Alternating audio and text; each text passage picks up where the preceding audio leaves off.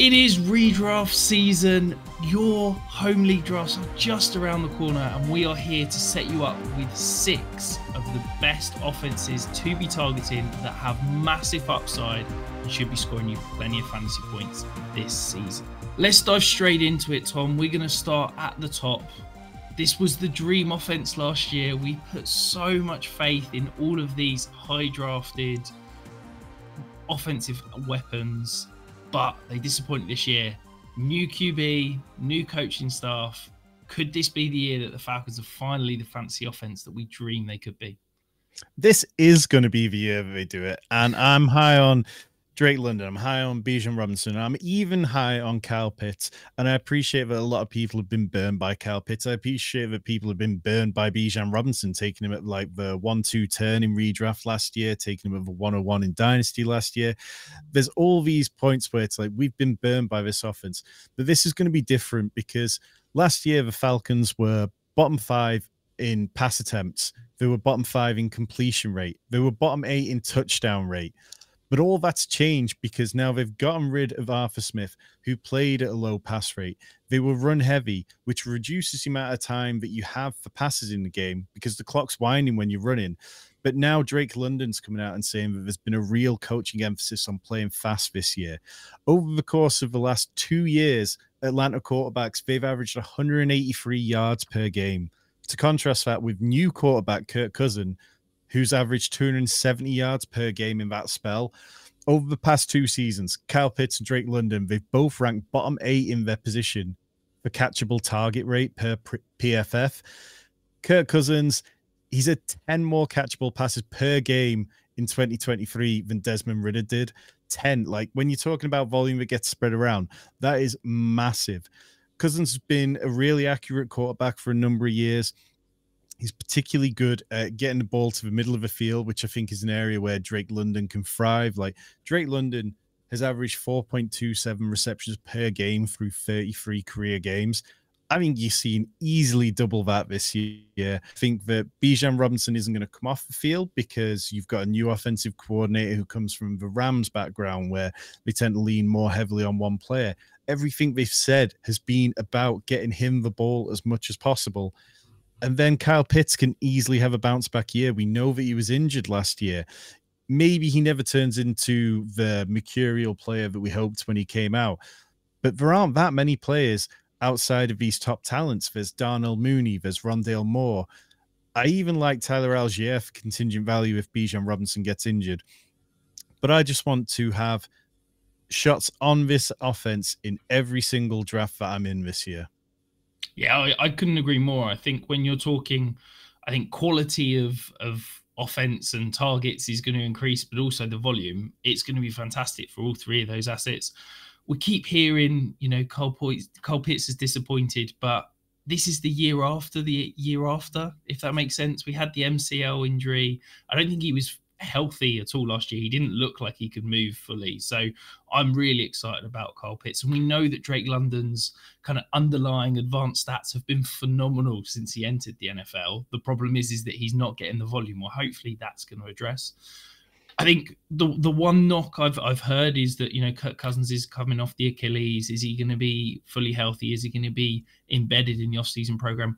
I get it, but this is a guy that is pretty much back throwing now. And also, let's not forget, this isn't he isn't coming in and having to learn a completely brand new scheme, completely new language. This is the same language and offensive scheme that he's been in for the last four or five years, because Zac Robinson is from that Kyle Shanahan, Sean McVay tree. I don't think it's going to be anything drastically new for anyone in this offense. So I'm really excited about those three key offensive weapons. But yeah, I'm, I'm going to throw in Darnell Mooney as well as a, you know, particularly in best ball. If you're looking for a, a late round flyer in your redraft league that might have a, you know, a couple of deep shots in week one or two that maybe you can trade off for a bit of profit. Um, I really like that as a, a potential flyer as well. One other offense we're going to talk about though, Cincinnati Bengals this feels like this is all in for this year. We talk about, you know, the last dance gets used too much, but the Bengals are set up on offense for one final year to have this push. Tee Higgins is still there. They've still got Ja'Marr Chase. We've seen they've they've acquired some additional running back help in Zach Moss and obviously got Chase Brown as well. And then they've they've added maybe one of the most exciting rookies in the draft. Yes, he fell, but that's because he's off off off field concerns. Do you think that this offense could be the best Bengals offense we've seen since Joe Burrow was drafted? It kind of has to be because of reasons you outlined. Like the Bengals are all in now. They reached the Super Bowl and they failed there. And it, you know, failing at the Super Bowl, it counts for absolutely nothing. That's a lost season. You didn't win anything. 15 years from now, so many people aren't going to remember the fact that you had a great playoff run. This year, because they finished fourth in the AFC North, they have the sixth easiest strength of schedule according to Sharp Football. So the NFL is making it easier for them to bounce back. They've kept Tee Higgins. It doesn't sound like the Bengals ever really tried too hard to get a contract offer over the line with him. But it makes sense for him. Like Tee Higgins can go back to the Bengals, who look to be competitive as long as Joe Burrow is healthy, and then he can cash into a massive level next year. If he'd hit the free agent market this year after being injured last year, then it probably wouldn't have been quite as good as it could be if he has another good year. You look at everything else that's going for this offense. Their offensive line is expected to be a top 12 unit. They've got Mike Gesicki brought into the tight end room, who at this point isn't going to develop into the guy who can be truly elite, but he can be a solid role player. You know, he's still got a couple of million guarantee, a couple of million on his contract. And when you look at that tight end room, there's a few different types of players who can be role players. So they can piece that together. They've got Jermaine Burton, who, yes, there's character concerns about him coming out of college, but there's definitely upside too. Zach Moss, fresh off almost 1,000 all purpose yards last year.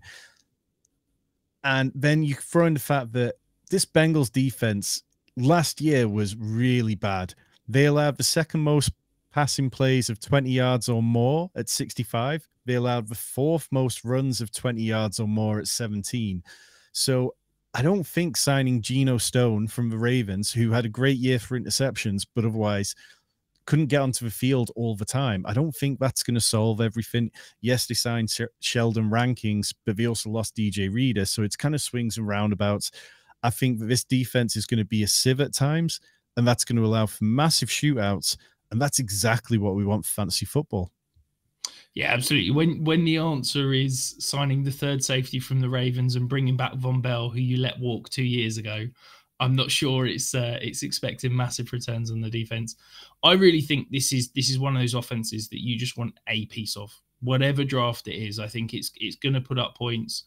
I love the value you can get on Jermaine Burton right now because yes, Tee Higgins is in that contract year, and if he gets a little knock, are we going to see him kind of sit and and you know rest up and and wait till he's fully healthy to come back? But give me all the Joe Burrow, give me all the Ja'Marr Chase, and you know that I love Zach Moss and Chase Brown. So yeah, love love this offense and think it has absolutely massive league winning potential. If you're finding our stuff for the first time, hit that subscribe button down below. We're closing in on 2,500 subscribers. We've got loads of redraft content coming to you, at least two best ball streams a week, and Rich's Dynasty content is all year round.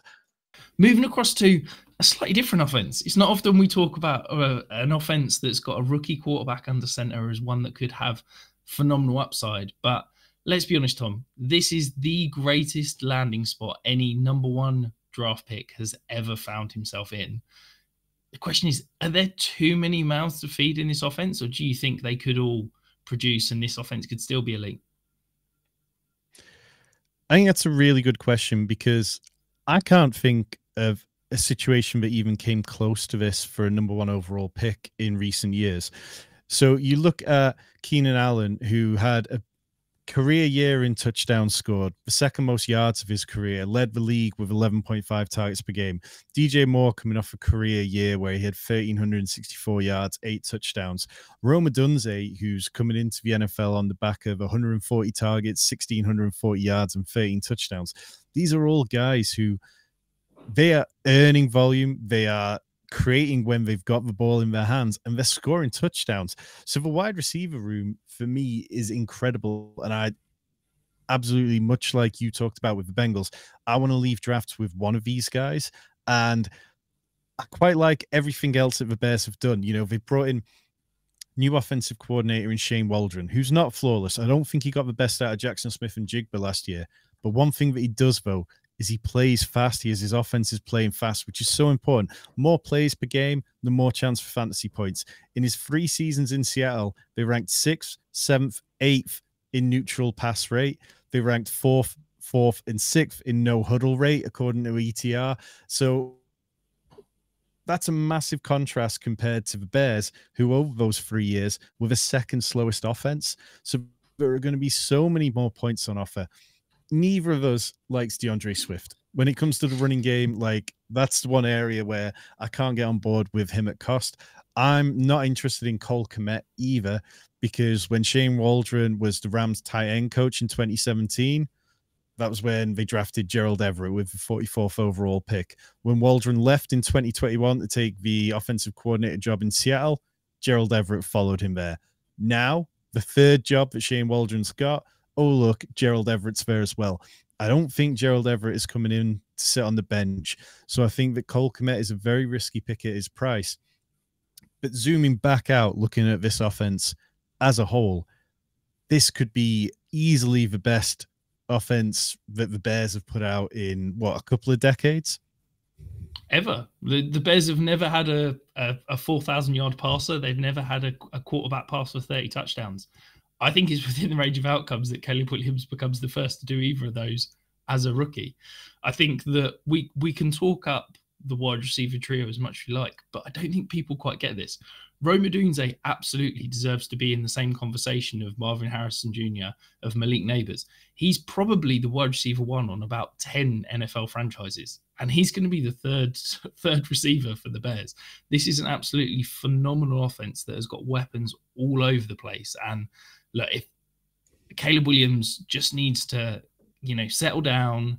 We know that he's going to make plays. We know that he's going to be phenomenal out of structure. But as long as Shane Waldron can keep him pointing in the right direction, I think this offense has huge amounts of potential. And at the value they're going in drafts, I think it's a really good option. But moving from this year's number one overall pick to a previous number one overall pick, the Jacksonville Jaguars look everybody knows I'm a big Trevor Lawrence fan. Everybody knows that I'm going to keep holding out hope because I think he is better than his stats show. Tom, are you are you joining me on the Trevor Lawrence bandwagon? I am, and there's one simple reason. It's the upgraded offensive line. Like last year, the offensive line completely held back the Jags. Like Trevor Lawrence was 17th in completion rate when kept clean. Now, that's not anything to write home about, but when pressured, he was 28th. He just went to pieces. And part of that was because Anton Harrison, the right tackle, who was a first round pick last year, he didn't play well, but it was first year moving from left tackle. Cam Robinson, who was the left tackle, missed eight games last year. Their center, whose name eludes me, was a liability. So they went out and signed Mitch Morse from the Bills, who allowed only one sack last year. The Jags, they don't often like they have a habit of messing up some stuff. But these are the kind of things that are going to help Trevor Lawrence take his time by shoring up that against interior pressure. You know, Travis Etienne dropped off completely in the second half, and I would be prepared to give a little bit on my stance that Travis Etienne's a half season warrior. That part of that was down to the offensive line becoming worse. Calvin Ridley was inches away from scoring touchdowns on a number of plays. Like, if you don't believe me, just go and search on Twitter for Calvin Ridley almost catches. Like Ian Hartitz has put out a number of videos of it. Ridley, he ranked 68th in catch rate among wide receivers with 50 targets. So it wasn't all on Lawrence, it wasn't all on Ridley. But with variance, some of that could have swung the other way. Now they brought in Brian Thomas, who had a fantastic season with LSU. They brought in Gabe Davis, who people don't want to hear this, but Gabe Davis has had some pretty decent moments and can be a pretty decent role player. And particularly within this offense where he's not asked to do too much, I think he'll be fine. But Christian Kirk, I think, can absolutely finish as a top 15 wide receiver this year without too much trouble. So everything's kind of aligning. The AFC South as a whole, is there a single good defense there? Maybe the Texans have kind of got a good defense on one half of the field, but I don't know. I think there's going to be shootouts galore, and I think this is an offense where you're going to want one two pieces from it easily. And if you can stack Trevor Lawrence, Christian Kirk, I'd do that in every single league. Yeah, absolutely. I mean, you've just got to look at the underlying numbers. The Jacksonville Jaguars last year were bottom five in EPA added in the screen game, were bottom five in EPA added in the run game, were bottom five in red zone efficiency, were bottom five in pass block room rate. Like what was set up around Trevor Lawrence didn't help him succeed. Considering what he had around him, he played phenomenally. They've invested in the offensive line. They've added these two new deep threats, which I think is going to create more room for the likes of Christian work, uh, Christian Kirk and Evan Engram to eat underneath. I love the call of Christian Kirk. You know, I think people forget last 2022, his first season with the Jag- Jaguars, he finished as the wide receiver 12. Like this guy has got elite upside. You've now got two deep threats who are going to take the top off a of defense, force teams to play too high coverage. He's going to eat in that kind of speed slot, intermediate to deep range. And I think that, yeah, the, I'm really excited about the potential for Christian Kirk, what Evan Engram could be working underneath. And I think Trevor Lawrence, we're finally going to start to see the fancy production catch up with the talent and uh, and potential that we all know is very much in there. But talking of offenses with plenty of mouths to feed, though, Tom, we come to the Green Bay Packers, one of the youngest offenses in the league. In fact, the youngest offense in the league. But we've got potentially five wide receivers. We've got two tight ends. We've got potentially two, maybe two and a half running backs. Can Jordan Love string it all together and lead this offense as he did down the stretch last year? And could this be the offense to target for fantasy? Well, you say it's the youngest offensively, but it's also the cheapest, which really matters for a team. Like the amount of like even adding Josh Jacobs, like they are still so cheap because there's so many rookies on their first couple of years of contracts. I was pessimistic about Jordan Love. You know, when we talked last off season, I really found it hard to imagine a player was coming off the bench after a couple of years and was going to be fantastic. But you know, he silenced everyone. It wasn't all smooth sailing. I think there's definitely rose tinted glasses with the way that some people look back at last year's season for Jordan Love. Out of the gate, there were a few bumpy performances.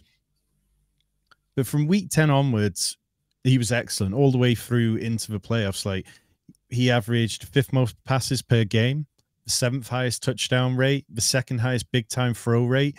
These are the kind of things we want for a fantasy offense. Yes, there is a lot of mouths to feed. You look at Christian Watson, Jayden Reed, try to decipher which of those is going to be the wide receiver one. We just didn't really see it from Christian Watson in a big spell. You go back to the year he had with Aaron Rodgers, where he was like, what, wide receiver three over a three game spell? And then last year, weeks 12 and 13, he was wide receiver 13 and wide receiver eight. But outside of that, he's dealing with injuries. He's really struggling at times. But if you put a bit of faith in the reports that they've solved his hamstring issues, then potentially you could be looking at a guy with a ceiling as high as any. Try to decide which of these wide receivers to take is difficult, all the way down to Dontayvion Wicks. And if you're in really deep leagues, all the way down to Bo Melton. But I think taking a shot on one of them, particularly if they fall past ADP, is an easy choice to make. Luke Musgrave, I don't mind. Like he seems to have quite a defined role as a tight end. But even Tucker Kraft, Tucker Kraft, somebody that I would be looking to stash, you know, if I've got a deeper redraft league, because from week 12 onwards, Kraft was a top 12 tight end in four of the six games that he played. So there is so much talent, and all of it just comes back to Jordan Love is absolutely the type of quarterback that you want to be drafting in redraft, like particularly if you're in a league that rewards passing volume or touchdowns to a high level, then I would be taking him with confidence every single time. Yeah, absolutely. I think the way Jordan Love played down the stretch last year was absolutely phenomenal. And and people want to say we need to look at whole seasons, not just a, a back half of the year. The issue was was that to start the year, he was pushing the ball downfield at a rate that nobody in the NFL, and else in the NFL was. He was taking more risks. Once he actually settled down and started playing the quarterback position properly, that's when he completely took off. And I think, yeah, we we can take small sample sizes. You can look at first half splits, first second half splits, and sometimes it can be a lot of noise. But with Jordan Love, you got to believe it. This is a guy that hadn't played football for a couple of years because he'd been sat watching Aaron Rodgers. Once he settled down and started playing properly, the ceiling was the roof, and and he really took off. So yeah, really excited about this entire offense. You know, I love Jayden Reed. I think the way that I every single thing you read about Dontayvion Wicks right now, it's a little bit scary how much he's getting hyped up.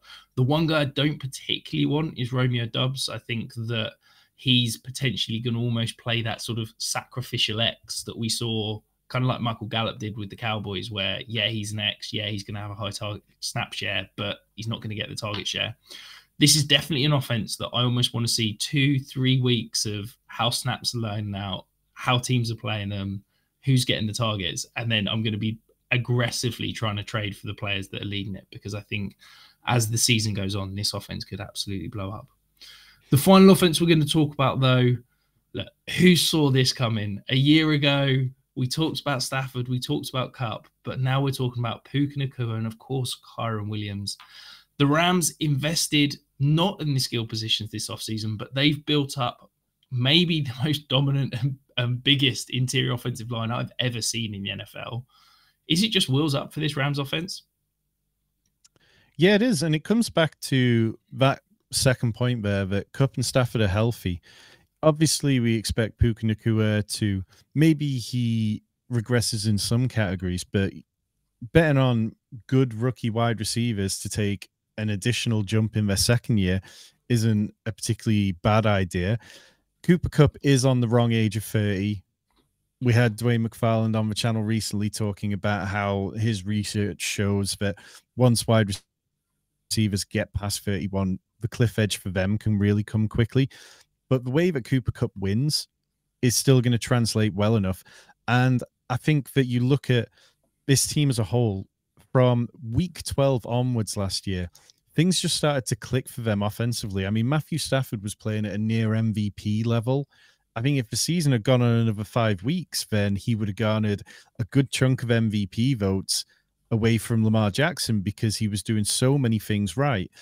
Part of that, the one part that a lot of people aren't prepared to listen to is that Demarcus Robinson was a great option for him. He took that wide receiver three role from Tutu Atwell, and the Rams play three wide receiver sets at the highest rate of any team in the league. So once Demarcus Robinson had that role, he was out there for like 90% of snaps. And from week 13 onwards, Robinson never finished lower than wide receiver 29, averaging 15.4 PPR points per game. If that's somebody that you can get in round 15 of your redraft leagues, that's incredible production. Like, you know, you're talking about a guy who can go into your flex every week and be no problem.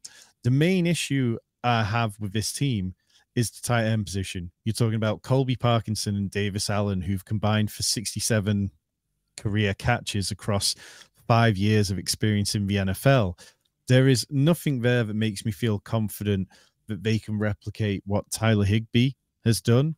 Tyler Higbee isn't necessarily a great tight end, but there's points where Sean McVay clearly trusts him. And I think so much of this offense comes back to who Sean McVay trusts.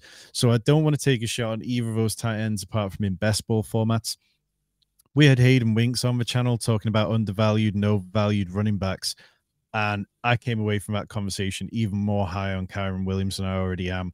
I think if you want to draft Blake Corum as contingent value for if something happens to Kyren Williams, who is a bit fragile, that's fine. But Kyren Williams averaged what 21 touches per game last year, was one of only two running backs to average over 95 rushing yards, uh, total yards per game. I think it's wheels up for Kyren, wheels up for Puka Nacua. And I don't mind Cooper Kupp as long as he doesn't get too expensive. And I'll absolutely be targeting Demarcus Robinson in every draft. Yeah, I, I love this offense. I think that you talked about, you know, from week 12 on. Well, well, what changed from week 12 on for the Rams last year?